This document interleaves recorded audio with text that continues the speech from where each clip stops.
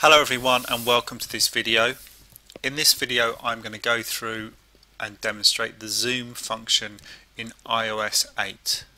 Now in previous videos I've looked at all of the different features in iOS 8 that relate to vision and modifying how the screen looks if you have a visual impairment and I've also created another video where I specifically go or I specifically demonstrate VoiceOver, which is the screen reader in iOS 8. Now, I'm going to use this and do this on my iPad, but of course, if you've got an iPhone, very similar features will be available for that as well. Okay, so to get access to Zoom, I'm going to go into Settings, I'm going to go into General, Accessibility, and then right at the top we've got Zoom. So, the green button at the top tells me that the zoom is on. So make sure that you're that you've actually put zoom on. And then we've got a brief um, overview of the most important commands and instructions for the zoom function. If we double tap with three fingers we zoom. If we drag three fingers we move around the screen during zoom.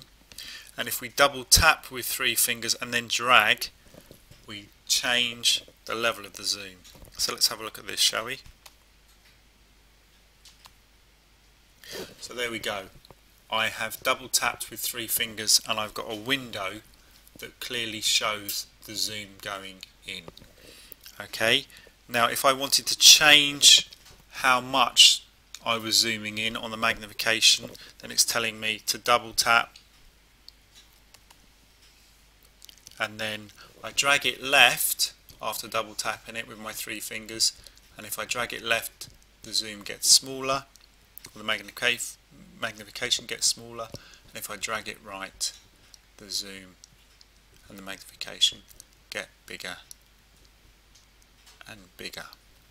And then if I double tap with my three, th three fingers on this zoomed window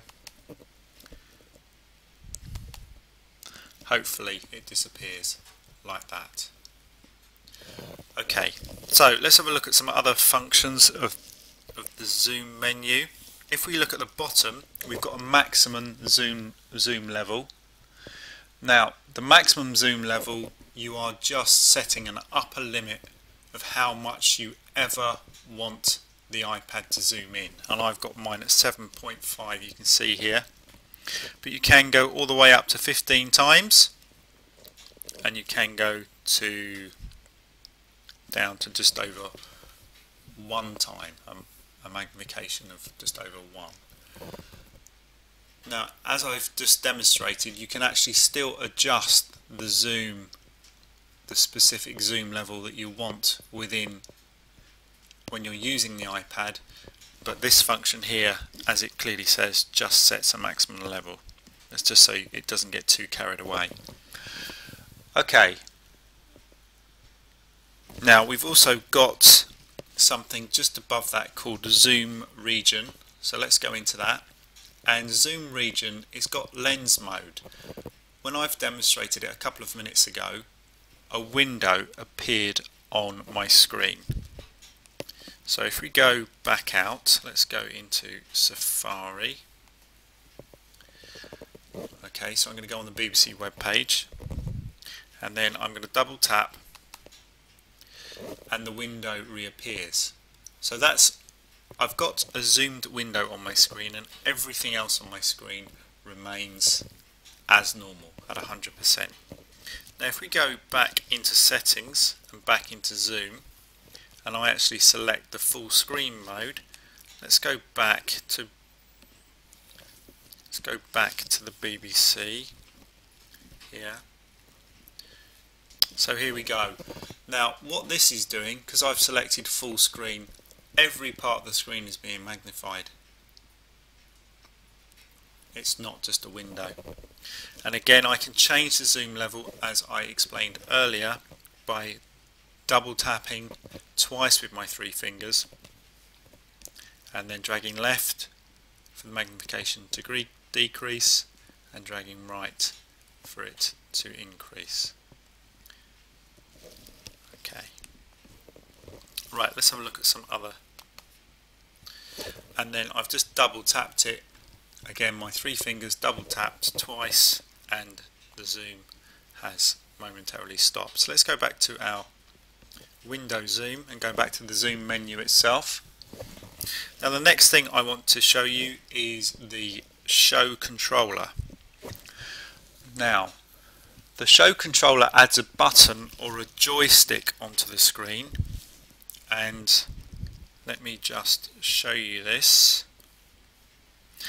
and you can see it there it's a black circle up arrow down arrow left arrow right arrow with a dot in the middle it's almost like an on-screen mouse really and what that does is that that joystick gives us quick access to some of the most important features of the zoom control so you can see I've just touched it once and then I've, I've got access to some of those features to zoom in, full screen zoom, to resize the lens, to choose a filter or to hide the controller.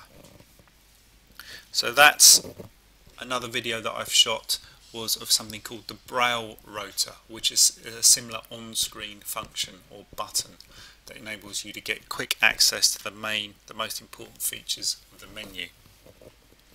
Now because we've got show controller on and you can see that because of the green I've got another menu option below it which is idle visibility now you can see that I've got idle visibility at 100% now what that means is 100% means that that black circle is as black and as dark as it can go if we want it to become more um, opaque or transparent then we just go into this menu move the slider down and you can see that the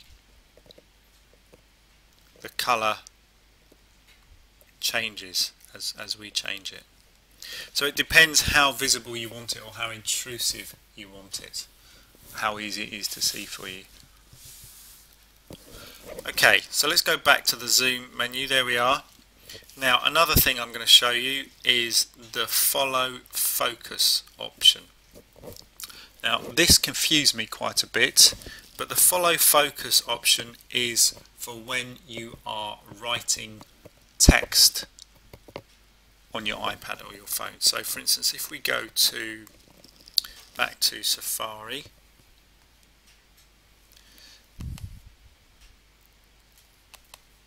So let's try and get the thing back. Okay. And the follow focus what it does is as soon as I um, command the iPad or instruct the phone to um, that I'm going to start writing text, it goes into the area where you're going to start writing text. Okay, so there we go. You can see that it's got its focused. I'm on the web browser in Safari and so it's gone immediately to the address bar where I'm typing. So that's a really useful feature if you are for when you're typing and you want the zoom function on.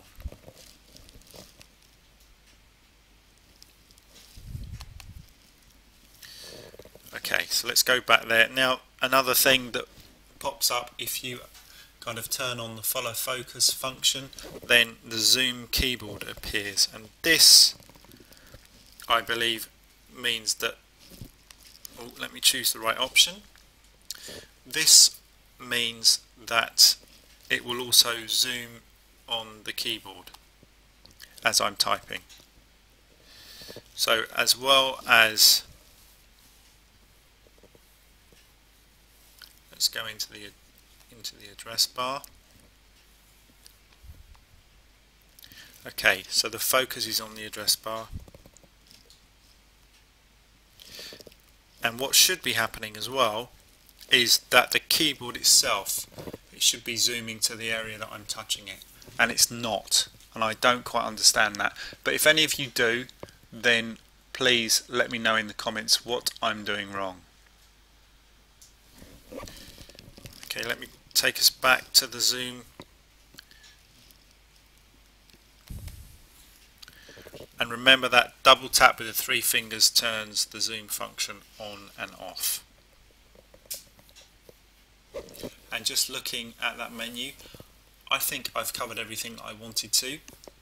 I hope you've enjoyed watching this video. It is about 10 minutes. It is obviously quite complicated in parts but the zoom function is a very very handy function that I wanted to give a detailed overview of.